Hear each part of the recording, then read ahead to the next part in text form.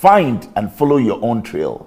To stay on your own path, be aware of yourself and surroundings. Trust that you find your way and don't hold yourself responsible for the trails or trials of others. Sabrina Moyle, my guest, has been quite the trailblazer and has been breaking new barriers year on year.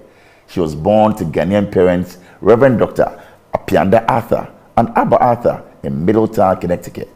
In 1999, she graduated from the Wesleyan University with a degree in English and African American Studies. After college, she worked at advertising agencies Arnold Worldwide and Spike Lee's Spike DDB. She also worked at the fashion brand Ashley Stewart, where she was the vice president of marketing. She later became a senior marketing manager of Pepsi and also Spirit Music Festival based marketing as head of music and entertainment. She remained with the company for almost a decade before joining Beats Music in 2014 when Jimmy Iovine of Beats recruited her. Beats was also purchased shortly thereafter by Apple, and she became the head of global consumer marketing for iTunes and Apple Music. Then in June 2017, she became Chief Brand Officer at Uber.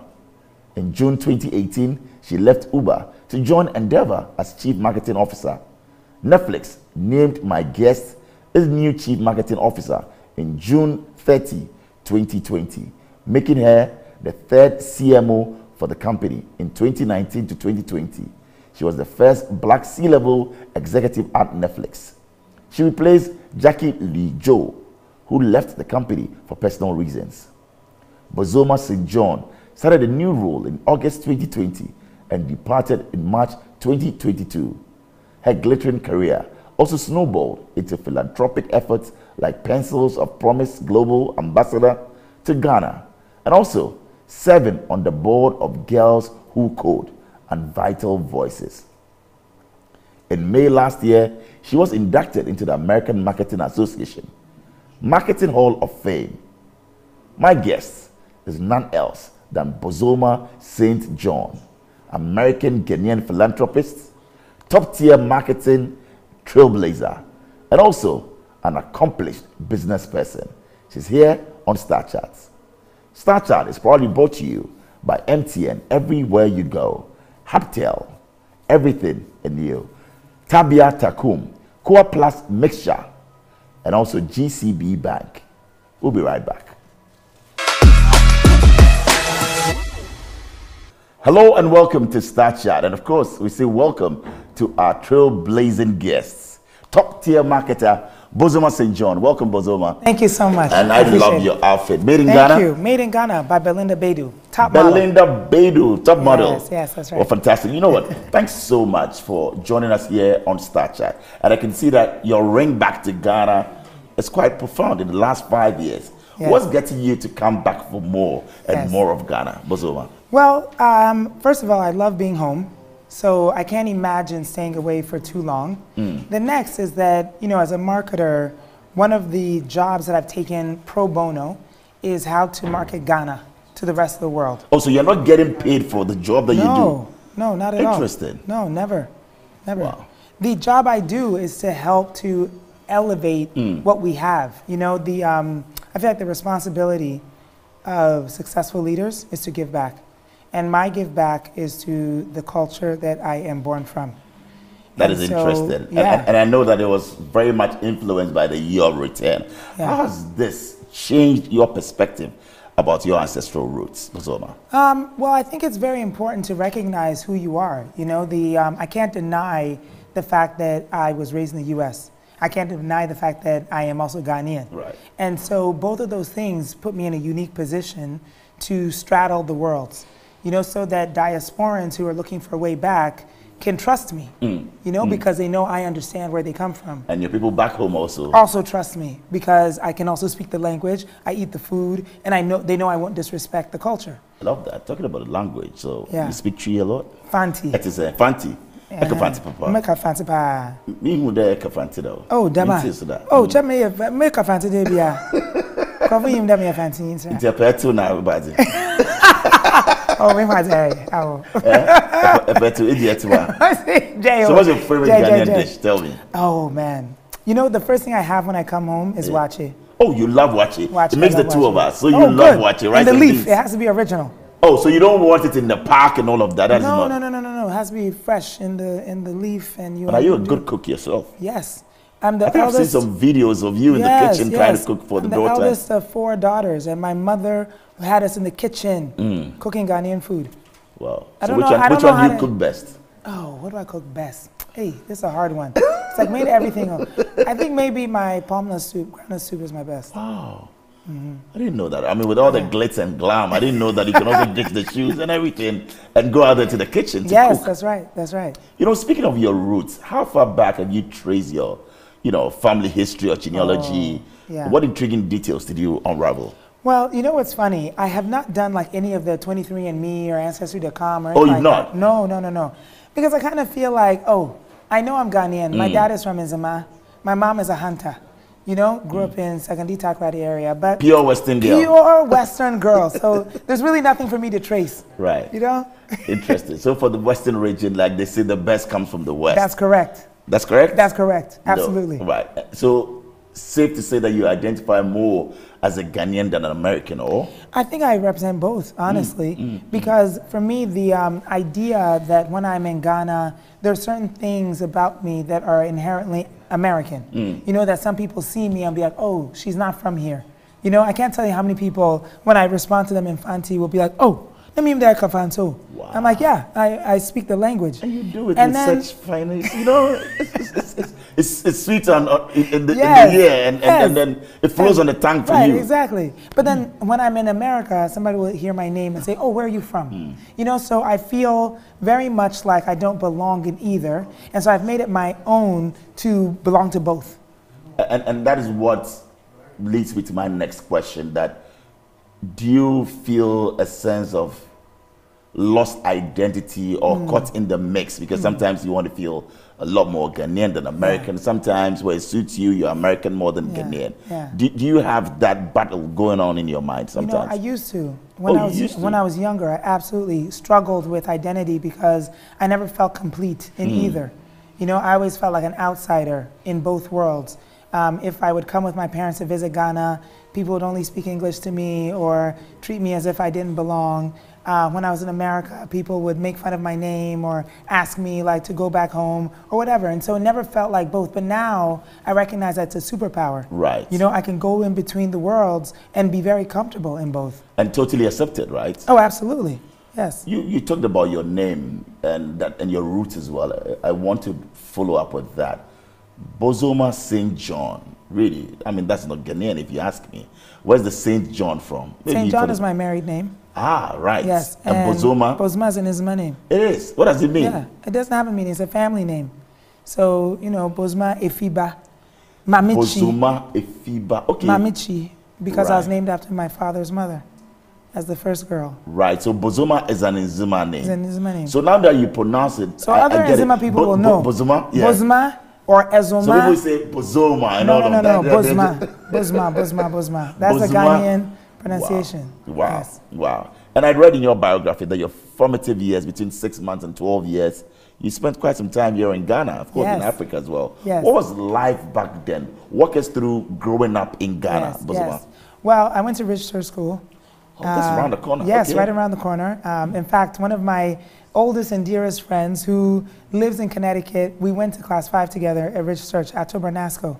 And um, I have several friends like that. Um, Ajwa Mugrabi, gosh, Asda. Like, there were so many friends from that time period that even when I left to go to the US, I mean, I was only, we graduated class six, they went on to secondary school, and then I went to the US. We stayed in touch you know, through letters, whatever. And then later on, Facebook allowed us to remain friends. And then as adults, we reconnected, you know? So it has been for me um, a choice to remain connected, not just through family, but through friends. I think that's most important. So growing up in Ghana back then, walk us through, you know, Yeah. those years. How was it like? I mean, schooling in Ghana. Yeah. Which neighborhood did you get Yeah. to grow up in and all? Yeah, we lived in cantonments.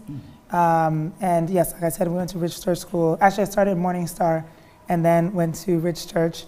Um, but time then, it was the late 80s, you know, and um, I think Ghana was a great place to be. You know, I have wonderful memories from that It was under the military rule. Was there Yes. any way you experienced curfew or, you know, back then, some No. riots? No. No, no. My experience with the military rule was actually when my father's government was overthrown. My oh, your father was in politics? was in the member of parliament in, in Hilla Limann's government. Ah. That's how we left Ghana in the first place. So you went on exile? Yes, and then returned to, Ni- um, to Nairobi, Kenya, because you know we wanted to come back to Ghana. My dad is a Pan Africanist. He loves Africa, and so he didn't want to stay abroad. I mean, he's the kind of guy that when he left Ghana to go to school in the U.S., as soon as his degrees were done, I was six months old. We moved back to Ghana immediately, and he taught at Legon, and then he joined government, uh, and then the coup happened, and then So we your, had to your, leave. your dad was Dr. Arthur, right? Yes, Wow. PhDs. PhD. doctors. Wow. Yeah. Wow. What, what, what kind of dad is he and your mom as well? Let's get to meet your parents because they've given us such a gem and we need to Oh, celebrate them. Yes, oh, we celebrate them all the time. So In your fact, dad grew up in Takoradi and also in my dad US? grew up in Inzama. Inzama, okay. Yes, and then moved to Takoradi when he was a little older, but um, he went to university in the U.S. Okay. Uh, met my mom at that time. My mom grew up in Sekondi Takoradi also in Tema. Hmm. And so, um, you know, both of them decided to start their family in the U.S., but that was only for convenience of education. Right. They really wanted to live in Ghana. Uh, but with the coup and everything else, they had to leave. Hmm. So by the time we circled back around into the late 80s, you know, it was safer for us to be here.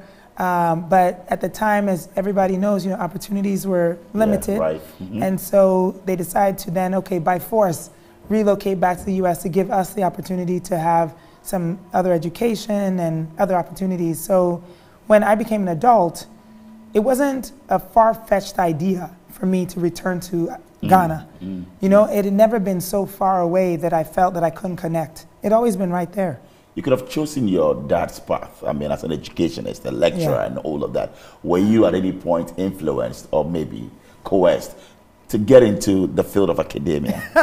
Very much so. Very much so. I think Tell if, us about it. Well, if Mm. my dad would have gotten his way, first of all, I'd be probably a double PhD like him, Oh. um, or I'd be a doctor, maybe a lawyer. One of Mm. my sisters is a lawyer, so she took care of that for us. you know, but um, the creative space was not a, a space that either of them thought I would have success in, right? Mm-hmm. I think when you're a parent, you want to set up your children for the biggest success possible. Mm-hmm. And in the creative fields, I mean, really, like, what is the likelihood that your child becomes successful mm-hmm. that way? At least if they're a doctor, you know that, oh, right. they're going to be successful because doctors are successful. But I think it's very difficult for a parent of a creative to see the future. And so even now, with all my success, my dad will sometimes Still? throw in there. He'll be like, "Oh, it's not too late, you know, to He's- get he's your still PhD." pushing for Still you to get your PhD. To get PhD. Are you considering that? No, not at all. So you were talked out of it Yes. in getting to the creative space. Yes, that's Did right. you rebel or you thought that your dad at the point understood that, oh, let it slide? no, he never understood. Never. Being No. the first girl, I think that he was also worried that the Yes. path that you chosen. Yes. So then, what is it? You could have chosen any field of endeavor, but you decided to go, you know, into that level of mastery. Yeah. Why did you choose marketing, Bozoma? Yeah. Well, you know, I think some of it is um, divine intervention, a destiny, in that I didn't plan on going into marketing. I needed a job to pay bills, to sustain myself, because, you know, my parents weren't going to pay my bills. Right. And so I, after college, I moved to New York City and I got a job as an assistant to, and it ha- so happened that, again, this is divine intervention, that it was for Spike Lee um, at Oh, his you worked with advertising Spike agency. Lee? Yes. So he was my first boss. I interviewed him, uh, I think, uh, eight months ago. Yes, and talked about very the much. Yeah, very yes, much. he came for Kamala Harris. So you were an assistant to Spike yes, Lee. Spike Lee. And, um, you know, through that experience, I rose through the ranks in his agency and um, discovered that marketing and advertising, which were an offshoot off of his di- directing business, uh, was a space that I excelled in. It was something that I found came easily to me and that I had talent in. So, Bozoma, for the records, you didn't study marketing. You didn't No. go to the university to study that. No. That is gracious and divine. Yes. So you're blessed. Amen. I am blessed. Wow. You learned on the job. Yes, absolutely. We'll talk about some of the marketing principles and all of that. But for me, I look at the brands that you've represented from Pepsi to mm-hmm. Uber to mm-hmm. Beats, you. Yeah. know, Apple, Netflix, Endeavor. That's diverse. I mean, brand profiles, if you, if you ask me. Yeah. How did you adapt and excel in every outfit? Let, us talk about landing the Uber job. How did that happen? Well, I mean, to go back a little bit, mm. I think the most important thing to remember for anyone who is in any kind of field, it doesn't matter what you do, mm. your excellence at that work is what is important. And so for me, oftentimes people will say, oh, but you've had so many jobs in so many different industries. In fact, the Washington Post wrote an article about me two years ago saying I'd worked nine jobs in like six industries. Like, how does she do it? Because the thing is that for me, it doesn't matter if it's tech, if it's consumer packaged goods, if it is automotive, if it is music, if mm. it is film. I am an excellent marketer. So I can sell anything. So the key word is to go in for excellence. That's correct. Excellence in the work that you do. Mm. So if you're an excellent writer, you should be able to write along any industry.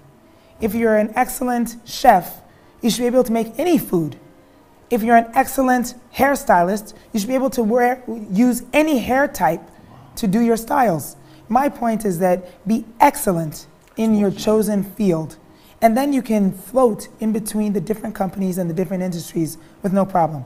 Food for thought. And I think that this is the biggest takeaway for me, you know, from this interview that be the best in everything that you do. Excellence In your is the field. Excellence. is what we're looking It- it- for. It is. So that is how you adapt. Yes. Let's look at some of the marketing principles universally. What are some of the things that one needs to know? I mean, despite your geographical location, Yeah. what is it? It's a global village now, like we say. Yes. What are we to look out for if we want to stand out in the marketing? Yes. Well, again, I think, you know, being a perfectionist of your craft is really important. For me, the whole central anchor of marketing is a love of people, hmm. A love of culture, understanding people. And so without loving people, there's no way to be an excellent marketer because I need to understand what it is that you want mm-hmm. in order to be able to sell you Yes. what I want. You know, if I don't think that you are interested in, you know, music or sport or fashion or any number of pop culture avenues, I'm not going to be able to convince you to do anything. Right. And so having a great curiosity for people's likes, dislikes, the things that are happening in the moment, being relevant to the time. I can't talk to you about something that happened two years ago and try to convince you to buy something today. And so that's what marketing really is. your, your energy is, is just over the roof. And, and, and that is what endears me. I mean, you to me. I mean, I come to you and I, I, I feel positive energy. Yes. You're always in the vibe. You're positive about what you do and what you say. Still on the Uber thing, you're telling us about how you landed that job. When Yes. you coach, you were with Pepsi then, I was with Apple actually. Apple, Yeah. and then Uber came for you. Well, here's the thing. I mean, part of the idea of curiosity and being the best at what you do is that you can look at any situation and say, oh, I have a thought for that thing. So I was sitting comfortably in my offices at Apple and I saw Uber was having some trouble. You know, at the time they were the golden child of Silicon Valley, and then all of a sudden they started to tank. They started to face some real hardship, criticism from around the world. And I called Arianna Huffington, who's a friend, and she sat on the board of Uber at the time. And I said, Ariana, I have some ideas for how Uber can get out of this mess. But I had a full time job. I was not looking to become the chief marketing officer Or you're Uber. looking to be a consultant or maybe somebody just help No, in some not even a consultant. I said, "Oh, this is an interesting thing. I have. I'm naturally curious." Ah. And so I said, "I have some ideas. Let me know who I should talk to, and I'll give them some thoughts." For free? Yeah. And she said, "You should talk to Travis Kalanick, who's the founder and creator of Uber." So she said she organized lunch at her at her home. I went for lunch with Travis, and what was supposed to be an hour lunch turned into an eight-hour working session. and again, I think this is part of what I think sometimes is misunderstanding about how to become successful in the mm. work you do. Mm. I would do this job for free, absolutely 100%. I do it for free a lot. You know, in interviewing now, just some minutes, I've just picked up some salient points that Yeah. be excellent at what you do, but again, also be passionate and do it for free. Don't think, don't put money first, Correct. which is what is the order of the day now in the world that we're in. Many Right. young people want the money first. Right. How much are you paying me? What am I getting? Before they give up their best. Correct. Is, is, is it's that not is that not way. that? Okay. I'm not saying you should do anything for free because listen, I am very well paid mm. in the jobs that I do. Right. However, I am curious about the work I do. I want to continue to raise the bar for myself on how I do it. And so my call to Travis hmm. about Uber was simply because I was like, I do my job at Apple really well. I am very well compensated there. I want to give you some ideas just because I happen to be curious about the thing you're doing. And in eight hours, he made me the offer at the end. He was like, Can you please come work for me? And I said, I. The Ah. Don Corleone offer, an offer you couldn't refuse. Well, I refused it at first because I said I have a really good job at Apple. Oh, you turned down the Uber job the first Yeah, you don't call. I have a job. I'm, I'm, do, I'm doing this because I like to, not because I need a job. Right. And then he brought the offer I couldn't refuse. So from Apple to Uber. Yeah. And that was it. Then Netflix came calling. Yes. Or with Netflix also you saw a problem and you had a solution. What was it? Well, in that case, we were just a few months into the pandemic, Okay. and the usership of the product was going through the roof. Mm-hmm. And they had seen the work that I'd done at several companies and understood that I liked to connect pop culture with product. Right. And they said, well, how can we better connect our film, TV properties with a consumer who is stuck at home and we want them to choose Netflix first? Right.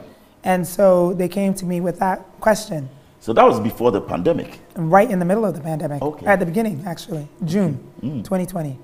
And um, at that time, I thought, wow, that's a really, really big job because a global CMO job.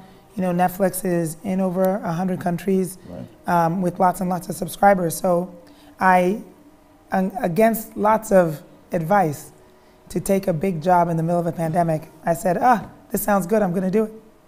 What drives you? Because like you're saying, you had a very comfortable job, well paid. Yeah. But here you were in the middle of the pandemic saying that I'll take this risk Yes. and go and make a difference. Yes. What drives you, Bozoma? I want to be the best. I want to be the absolute best at what I do. I refuse to be just comfortable in my success. You know, I think that most successful leaders will tell you that. That, um, you know, you think, oh, let me get to the top of the mountain. Well, I've been to the top of the mountain on a few mountains. And I tell you what happens when you get to the Tell top of the mountain. Mm-hmm. Because lots of people are climbing, thinking, oh my gosh, how do I get to the top? How do I become successful? How do I become the C suite? How do I get paid a lot of money? Mm. When you get to the top of the mountain, you see another mountain that is higher. So get down off your mountain and go to that one. Wow. And that's what I continue to do. And so at some point, I want to climb the highest mountain there is. And then I'm going to go to space. Oh, you want to? What's been your toughest assignment, you know, in enhancing the value of a brand? You've Yeah. worked with Pepsi, Netflix, Endeavor, Uber, Apple. Which one has been the toughest for you? Man, there, there's a challenge everywhere, always. You know, I, I find that, again, that is part of what continues to grow me because I can tell you a myriad of problems at every company I've been at. You know, when I joined Apple, um, it was the beginning of streaming. It hadn't yet been created at Apple. So I was working at Beats Music, and we were only three months old. And Apple came knocking because iTunes, of course, was the big monster in the world. And knowing that streaming was going to come and was going to become the predominant way for people to listen to music, they needed a way to do that and to market it. And people didn't know what to do with streaming. And so that job was very difficult because you had to explain to people that you pay one price and you can listen to all the music in the world. Meanwhile, they were still going to record stores to buy music mm. or maybe download one song off of iTunes. So when you try to change a mentality, it's a very difficult thing to do. I would even say that the pro bono work I do on behalf of Ghana is very difficult because think about the culture in which I grew up in the late 80s, early 90s, where every image of Africa was UNICEF or these images Refugees of, and oh, war-torn my zones. goodness, with starving children Children, yes. flies on their eyes. They were telling you, oh, pay one cent a day and you can feed a child for a month. It was disgusting. And so, how, How do did you? you change that narrative, Bozoma? oh my goodness. You've done an amazing job. Thank you. but Yes, it's, yeah. it's personal to me. That's what I'm telling you is that the passion that you're hearing from me is because I want it to be different from my daughter. I don't want her to grow up in a world where people disrespect Africa, where people don't recognize the beauty of what we have. And I know that marketing is a solution. Right. You know, and so for me, it's like one of the ways that you change it is by elevating the excitement that we have here. And so even though I am very proud of the global work mm. that this current administration has done with making sure policy is changed, mm. making sure that declarations are made, like that's a global network, right? But for me, it's like, how do I make sure that Ghanaian artists, music artists, are elevated, that they're played on the playlists? Mainstream, exactly. How do I make sure that people understand that our food is not strange?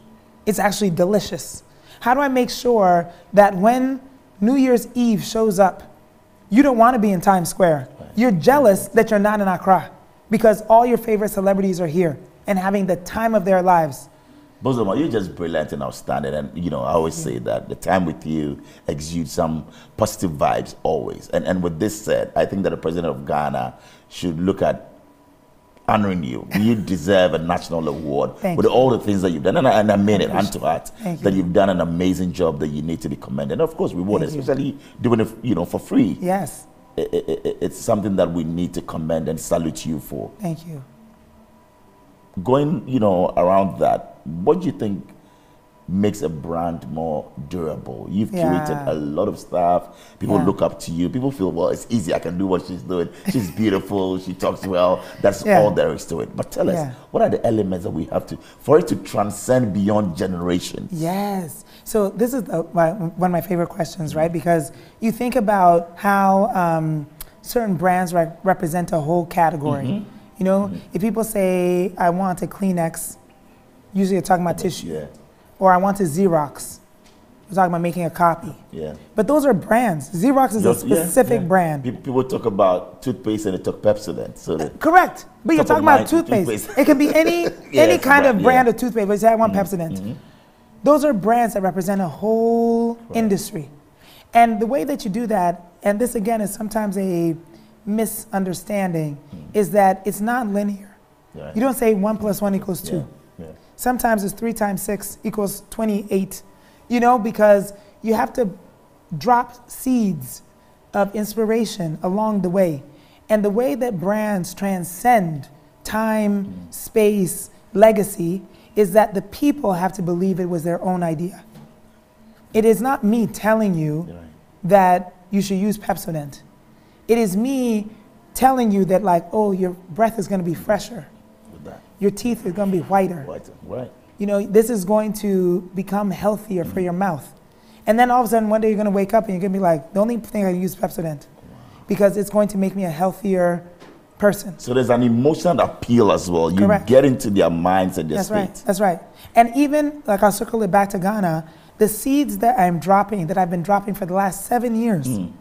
have been so that the next generation of people who are rising, my daughter's generation, will consider Ghana like they consider Paris, like they consider Tran- San Tropez. They're not going to think of Accra as this wild place where they need to be careful to go. It'll become aspirational for them.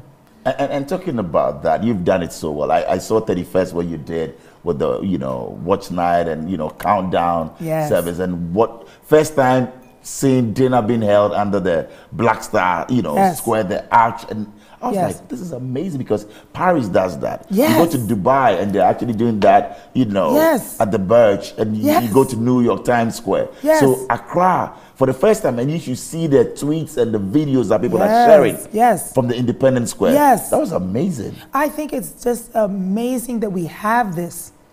There are not many places in the world, mm. cities, that have monuments that can be recognized globally. Black Star Square needs to be one of them. I like that. We have to do it.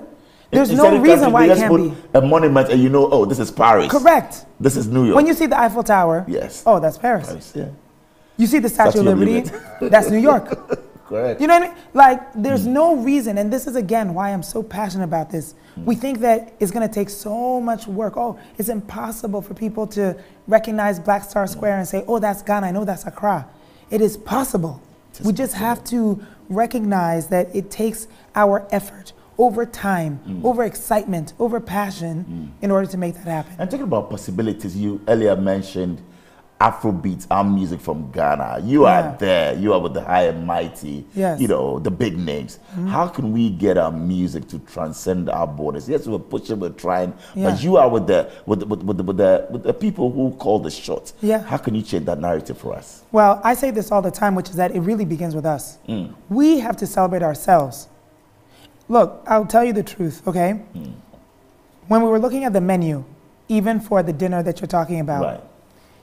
When I first looked at it, there was garlic bread being offered on the menu. I had a fit. I started screaming. I was like, oh, now where's the kelewele?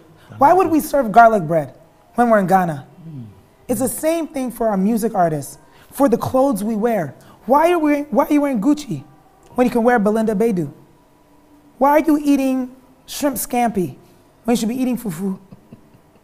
Why are you listening, no disrespect to Jay Z, why are you listening to Jay Z when you should be listening to Shatta Wale? Why? We have to celebrate ourselves. So it starts with us. It starts with us. Do you think Ghanaians celebrate one another? I would hope so. But it's not the case. It's not the case always. I would like to transform that. And again, I think that um, certainly when you see outsiders celebrating, it makes it easier you to- feel like, oh, you know what, they appreciate what I'm doing. Right. But I want us to have the same passion. So it starts with us. Starts We're, with we're us. going for a short break. When we come back, we're wrapping up this great interview with Bozoma, but it's right here on Starr Chat. We'll be right back.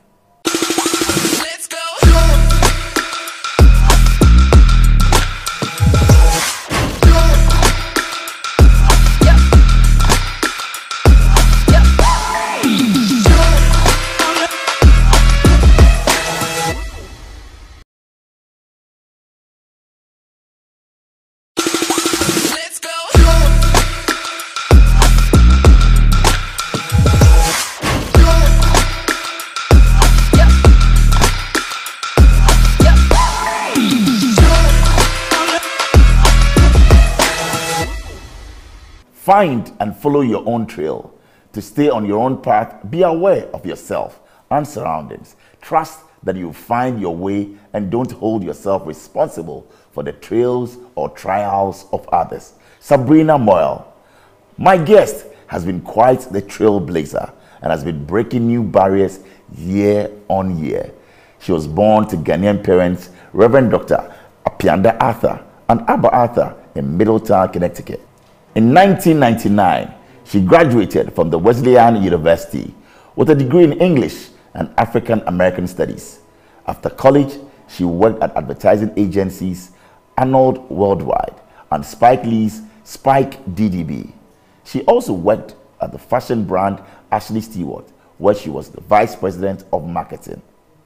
She later became a senior marketing manager of Pepsi and also Spirit Music Festival based marketing as head of music and entertainment. She remained with the company for almost a decade before joining Beats Music in 2014 when Jimmy Iovine of Beats recruited her. Beats was also purchased shortly thereafter by Apple, and she became the head of global consumer marketing for iTunes and Apple Music. Then in June 2017, she became Chief Brand Officer at Uber. In June 2018, she left Uber to join Endeavor as Chief Marketing Officer. Netflix named my guest as new Chief Marketing Officer in June 30, 2020, making her the third CMO for the company in 2019 to 2020. She was the first black C level executive at Netflix. She replaced Jackie Lee Joe, who left the company for personal reasons. Bozoma St. John started a new role in August 2020 and departed in March 2022. Her glittering career also snowballed into philanthropic efforts like Pencils of Promise Global Ambassador to Ghana, and also serving on the board of Girls Who Code and Vital Voices. In May last year, she was inducted into the American Marketing Association Marketing Hall of Fame. My guest is none else than Bozoma St. John, American Ghanaian philanthropist, top tier marketing trailblazer, and also an accomplished business person.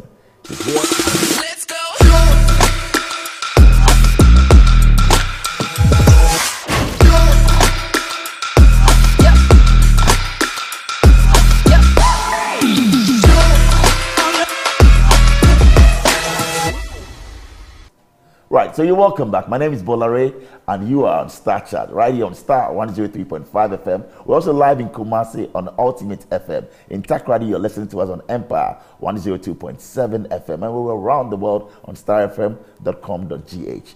Carrying multiple phones around can be such a chore.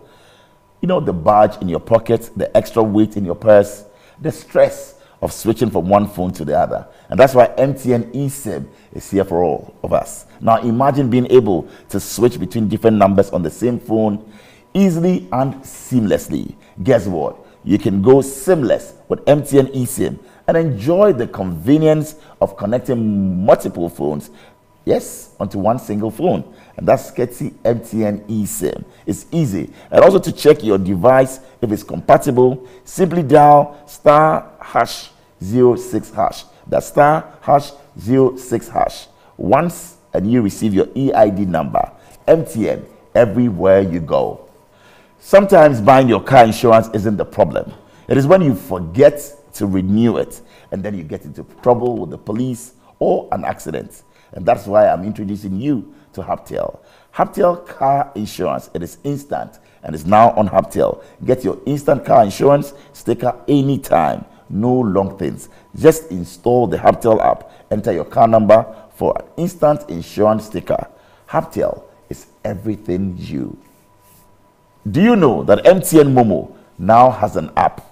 Yes, MTN Momo has a brand new app specially designed to make your Momo experience easier, convenient, and faster. Just download the Momo app on Play Store or App Store on your smartphone and look out for your blue and yellow icon.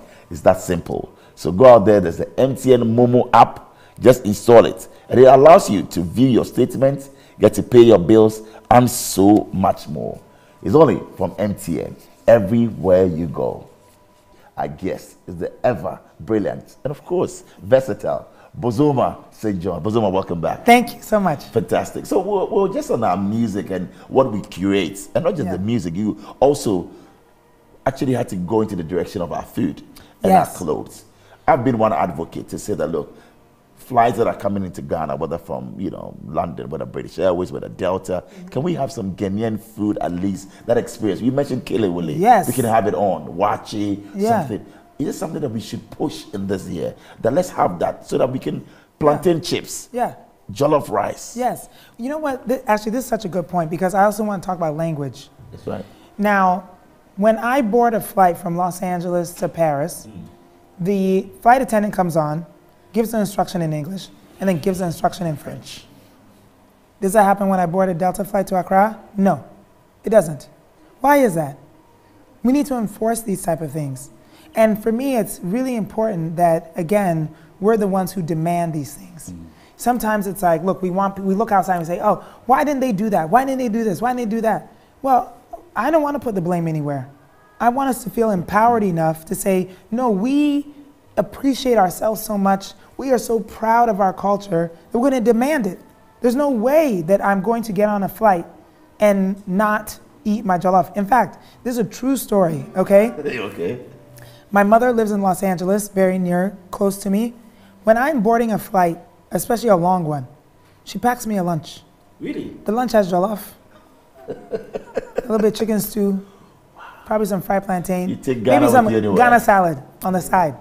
Oh, and when they come around to give me, you know, a snack or whatever, I'm like, hey, can you just give me a napkin? That's I don't right. need any of your food. I've got my own. you know? So let's encourage that. that that's a real life situation you're Yeah, sharing. and I'll put on Instagram. Wow. And I'll say, look at me enjoying my Ghanaian lunch. But my point is that, like, hmm. and it, you know, it's a little bit of a joke, but it's a little bit serious too, which is that I am very intentional, you know, with the way that I am. And so even on 31st night, when I have designers who like to dress me, mm. you know, the world's biggest designers, but I came and I went to Mimi Yaboa and I said, I need a dress, a gown. And this woman spun up gold. She put Adinkra symbols was an amazing. that were dangling off of my dress. Yeah. There were Dinkra symbols in my hair.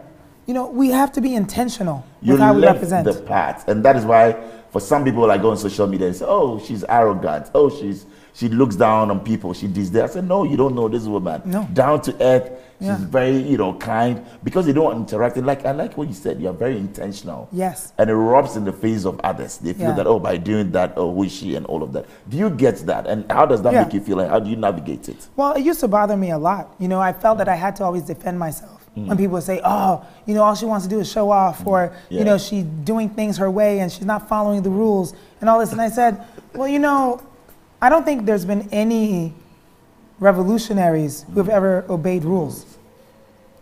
It's not easy to break rules. Mm. It's not easy for people to criticize you. Right.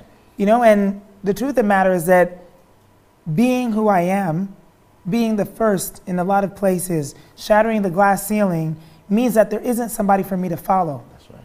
My hope is that by doing what I've done, other people will see me and say, oh, she's real. If she did it, I can do it. When I walk into a boardroom and I'm wearing something like this, people say, oh my gosh, there's a scandal. She should have been wearing a gray suit. I'm not gonna wear a gray suit. Right. I'm gonna wear a loud color. I'm probably gonna dress very femme, which means a certain thing, you know? I know, Showing right. off the assets. I don't mind. You don't have a problem with it Uh-uh, at all. not at all. And if you wanna complain and call me scandalous, do it. This we love to see. My, and you get my the work, attention. You get the work my. Mm-hmm. work speaks for itself. I love that. And so at the end of the day, it doesn't matter it, what lipstick I'm wearing, how I did my hair, if you can see my cleavage or not. My work is superior. Oh, what a word and what a woman. interesting, interesting stuff. And talk about our music as well. I want to give us your top five Afrobeats tunes. That would be Oh, what? I mean, in no particular Hey, order. tunes. Yes. Man, this is a tough one, you know. Right. So your top five would be what? Celebrate right now. Celebrate. is one of my top. Is it the one ones. from uh, Patoranking? No, Which it's one? um celebrate Kwame something. Oh, Kwesi Arthur. Kwesi Arthur. Yes, Thank you, okay. Kwesi Arthur. Yeah, Yes, yes, Kwesi yes, that's right. Celebrate. Um, okay. own it. I know my producer loves that as well. Fine, Oh. He plays that every morning. Does he? so I love that Celebrate. song. Kwesi Arthur. yes, Okay, own one. it by Stormzy. Stormzy. Okay, on it. Hmm. Okay. Let's see. Oh, um, Jackie, uh, Nyame something. It's such a beautiful. Is it Jackie yes, Songbird? yes, Okay. yes, yes. Right. Amaarae. Amaarae. I was just listening to her. All right. I was floating down the river, uh, the Volta River, Right. on the first, and uh, listening to some Amaarae was beautiful. Ah, yeah, that's you it. I'm gonna go four. there. So the last one Oh, what? the last one. Let me think. I'll give I'll give a Nigerian a little love. How about that? Why not? Um, Essence. Essence. There okay. you go. Okay. Thanks. And we'll Okay. give we'll give them one one slot in the five. Interesting. so that's it for Afrobeats. And look, 2024, we're all going to push. I'm not happy that Afrobeats has gotten a, a category and you know getting some nominations. That's out there, right. the Grammys and all That's of that. right. It's a huge one. Yes. And I think we need to push. For, for, for that and for more slots. Yes, yes, what, what do you make of that? I mean, making a great showing out there, not in an international category, but we have a category for Yes, Afrobeats. yes. Hmm. Well, look again, but this is why intentionality is so important. Harvey Mason, Yes. who's the CEO of the Grammys, hmm, Yeah. came to Ghana because he has seen over the last five years how exciting it is. Correct. When I saw him like six years ago, and he said, "Oh, I just saw you were in Ghana because Grammys are in February. I was there on behalf of Apple Music. Hmm. What were you doing? It looked, it looked like everybody was there." I was like, "Harvey, you need to come." It took another three years, but he came. Game. Right. And when he came, he was at Twist. Yeah. He was at From Back. That's right. And so now He sat at Yes. at Republic. Republic, He yeah. Mm. went and ate at Instiona. He did all of the things. And so that is how you influence people to create new change. Mm. I know you've tried your hands at some businesses in Ghana. I mean, Yeah. Cabo Coastal, you, you, you did that. Yes. What made it work and not work? Oh my goodness. Well, my workshop, is that what you mean? Mm-hmm. I think that um, it was a surprise to me, if I can be totally honest with you. Really? Well, because I've never done it in person before. In person, right. It's always been online. Right. So online, I have 11,000 people who join from 80 countries. The group chat, you know, on the live feed is going fast. People are checking in from Brazil, checking in from Canada, you know. And so I didn't know what it would be like if I did it live and Live. in person. And so when I decided to do it here in Ghana, because to me it felt like if I'm going to do it live in person the- for the very first time, Mm. it has to be on this soil. And I wasn't sure how it was going to be.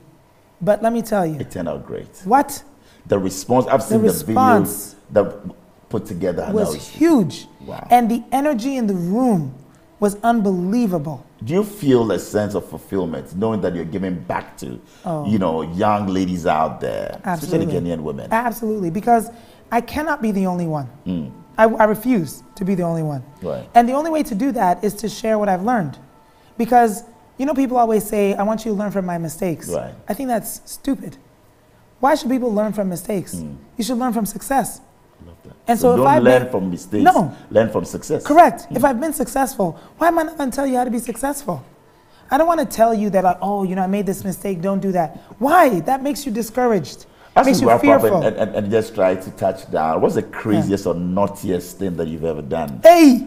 Yes. Why not? In my life? In your life. what would that? I mean, as a teenager, as a grown-up woman. Well, let me tell you, I've. Yeah. I've always been very interested in pop culture, we said. Right. So, in my very strict Ghanaian household Hmm. where I grew up, with my father being a reverend and my mother being a very strict Ghanaian mom, I would sneak out of the house and go to the club, go party with my friends. But I have to say that that paid off Really? because I got to meet a lot of artists that way. I understood culture very much that way. Right. And I'm a successful person because I I love that. Certainly. Your first date, you remember? Hey, yes. Okay. I'm not gonna tell it. First heartbreak. Oh, too many to count. Oh, too many. I've been heartbroken. Oh, too bad. Well, maybe God will give me love in 2024. Oh, 22. I see that in your eyes, and I think Thank that is you. coming. There is a man out there who's going to come for you. You're Amen. ready to get. You were married for how many years? 10 years. 10 years. Yes. And then Sally, your husband, He passed, passed. Yes. but you're now ready to settle. I'm ready. Let's Are you ready for a man? Are you looking for a Ghanaian man, or you don't really care? I would love a Ghanaian man. Oh, you love a Ghanaian man. Yes. What's your spec like? Somebody watching and exactly. Right. Intelligent. Mm. Loves God. that's right. Faithful. And will love my child like I do. That's all. Oh, isn't that sweet? You know what? It's been an interesting sit down with you. Thank you. I wish that I would have gone for an hour, but hey, we love what we've gotten right here. Great you so content, and we wish you the very best. That continue to be loving, continue to be affable, spread the love, and do that. You know, for Ghana, everywhere you go, you're a I great it. ambassador. Thank and we you so you. much. Thank you very much, It's Bozoma. such a pleasure. So you look into this camera and give Yes. you know the world a message. Yes. 2024. What is Which Bozoma camera am telling I us? looking into? So this camera is yours. This one. That's right. Okay. So for 2024, I want every Ghanaian to celebrate Ghana in some capacity. Share it with a friend. Do the things that you love to do in Ghana and celebrate them big. Let people be jealous that they're not here doing it with you. And if you're in the diaspora, I want you to celebrate Ghana there. We shouldn't just try to assimilate into other cultures. We should bring our culture there and make them assimilate to us. What a word. It's been great right here on Starr Chat. Thank you for doing the listening and also for watching. To my production team, you're the best in the world. My name is Kwabena Anokye Adisi Bola Ray. God bless us all. Thank you.